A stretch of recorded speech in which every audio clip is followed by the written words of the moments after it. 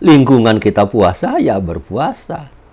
Kalau lingkungan kita tidak puasa, jangan-jangan kita tidak puasa. Ayo yang biasa lama di luar negeri umpamanya. Yang masih muda, kalau tidak sama orang tuanya, lagi ngekos, menjadi pelajar atau mahasiswa di tempat lain, jangan-jangan nggak puasa. Sebelum perbincangan ini kita lanjutkan, jangan lupa subscribe, like, dan share kepada kawan-kawan kita yang lainnya. Assalamualaikum warahmatullahi wabarakatuh. Allahumma salli ala nabiyil hashimi Muhammadin wa ala alihi wasallim taslima. Kawan-kawan yang saya hormati, puasa seperti yang biasa kita pahami sebagai menahan dari makan, minum, kemudian hubungan suami istri. Sesungguhnya kalau kita dalami adalah entry point. Kalau menurut Imam Ghazali dia sebut sebagai puasanya orang awam puasa orang awam itu puasa orang biasa pada umumnya. Mungkin seperti kita, seperti saya. Oleh sebab itu maka topik pembicaraan utama ketika masuk bulan Ramadan adalah urusan makan. Jadi puasa itu menahan makan menahan makan itu disertai juga tentu saja dengan menahan minum, menahan juga hubungan suami istri. Ini adalah level satu. Puasa orang pada umumnya atau puasa orang awam itu levelnya level elementer. Entry point ibarat sekolah, maka ini sekolah tingkat dasar. Bagus sekolah. Kalau tidak masuk tingkat dasar, kita tidak bisa naik kelas, tidak bisa masuk ke level berikutnya. Puasa seperti inilah sebagai puasa menahan nafsu yang disebutkan oleh Allah Subhanahu wa taala sebagai nafsu amarah. Nafsu yang selalu mendorong manusia untuk berbuat keburukan. Nafsu amarah itu adalah nafsu yang mengakomodasi kebutuhan-kebutuhan biologis. Kebutuhan biologis manusia itu mulainya dari makan. Manusia lapar, karena lapar dia pengen makan. Lalu mencari makan. Kalau sudah dapat makan, dia pengen makan kenyang. Kalau sudah makan kenyang, dia kepengen mencicipi makanan-makanan yang lain. Kalau sudah terpenuhi kebutuhan makannya, karena dia mempunyai tenaga, maka dia pengen menyalurkan tenaga itu kepada dua hal satu, kepada wanita itu yang disebut oleh Allah sebagai memandang wanita itu indah.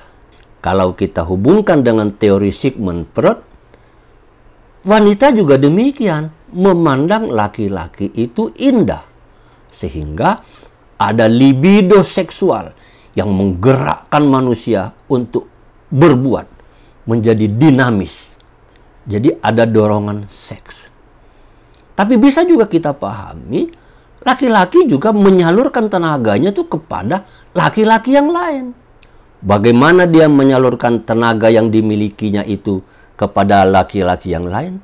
Dalam konteks persaingan mencari makan. Di situ antar lelaki dengan lelaki yang lain itu bersaing. Persaingan mencari makan itu puncaknya adalah perkelahian, peperangan, dan saling membunuh. itu nafsu amarah. Nafsu amarah itu cenderung mengajak kepada perbuatan-perbuatan buruk. Kita pada bulan suci Ramadan dilatihkan untuk mengendalikan nafsu amarah itu. Menahan atau pengendalian terhadap hasrat-hasrat biologis manusia itu. Menurut Al-Ghazali, itu puasa level 1. Kalau kita bikin pentahapan, maka 10 hari pertama itu baik sekali kita tandai sebagai puasa level menahan dan mengendalikan amarah. Artinya, kita berusaha menahan dan mengendalikan hasrat biologis kita sebagai manusia. Itu adalah puasa level 1 kira-kira kita bisa bikin pentahapan pada 10 hari pertama. Oleh karena itu maka pada 10 hari kedua kita mestinya naik kelas. Meningkatkan puasa pada level berikutnya. Level berikutnya itu adalah level kembali kata Imam Ghazali puasanya orang hawas. Puasa orang hawas itu adalah puasa orang yang mengerti tentang makna puasa yang sebenarnya. Makna puasa yang sebenarnya itu bagaimana? Bukan sekedar mengendalikan, tetapi juga sekaligus menyadari bahwa kita selama ini sudah melakukan kesalahan-kesalahan sebelum bulan Ramadan kita rupanya memiliki kelemahan. Kelemahannya apa? Makannya terlalu banyak. Makannya rakus. Makannya mengumbar hawa nafsu. Dan bukan hanya sekedar makan, tetapi lalu menumpuk kekayaan. Menumpuk harta benda bukan hanya sekadar menumpuk harta benda, tetapi menyalurkannya untuk memenuhi kebutuhan-kebutuhan seksual.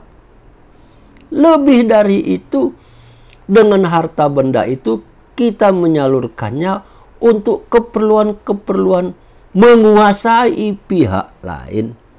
Orang lain berada di dalam subordinasi kita. Kalau bisa kita mengendalikan semuanya, mendominasi. Kita sadar itu dan itu ternyata salah. Tidak boleh, tidak baik bagi keharmonisan hidup di dunia dan nanti dalam penilaian Allah untuk kepentingan hidup kita di akhirat. Kesadaran terhadap apa yang kita sudah kerjakan selama ini penuh kekurangan, banyak kelemahannya. Bahkan secara agama disebut kita sudah melakukan dosa-dosa. Mungkin dosa kecil dan jangan-jangan juga dosa besar. Kesadaran terhadap itu masuk ke dalam level oh kita mulai mengendalikan nafsu lawamah nafsu lawamah itu adalah nafsu yang korektif, kritis terhadap diri kita sendiri. Puasanya pada level khawas. Kembali, menurut Imam Ghazali ini level khawas, level orang yang paham. Orang yang puasa tidak ikut-ikutan saja karena kebanyakan kita memang puasa itu ikut-ikutan. Orang tua kita puasa, ya kita puasa. Saudara kita puasa, ya kepuasa. Lingkungan kita puasa, ya berpuasa. Kalau lingkungan kita tidak puasa, jangan-jangan kita tidak puasa. Ayo yang biasa lama di luar negeri umpamanya. Atau di lingkungan yang kebanyakan non-muslimnya. Jangan-jangan kita nggak puasa. yang masih muda kalau tidak sama orang tuanya lagi ngekos menjadi pelajar atau mahasiswa di tempat lain, jangan-jangan nggak puasa. Orang yang masuk ke dalam level puasa tingkat dua, level dua, yakni orang yang mulai menyadari bahwa puasa ini sekaligus juga menyadarkan kita terhadap kesalahan-kesalahan masa lalu yang sudah kita kerjakan yang sudah terpendam dalam pada diri kita.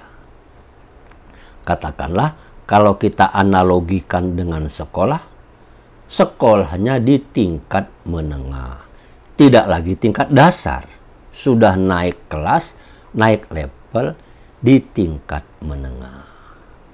Mudah-mudahan kawan-kawan sekalian, kita semua pada 10 hari kedua bulan Ramadan setidak-tidaknya kita mulai masuk ke level itu, level kedua. Mulai mengendalikan nafsu lawamah kita. Eh, nafsu, sadar ente. Ente selama ini nggak benar. Oh, banyak sekali kelemahan. Nah, itu adalah pengendalian terhadap nafsu lawamah. Mudah-mudahan perbincangan singkat kita seperti ini ada manfaatnya untuk introspeksi, koreksi terhadap perjalanan ibadah puasa Ramadan kita. Terima kasih, mohon maaf atas kekurangan saya. Wassalamualaikum warahmatullahi wabarakatuh.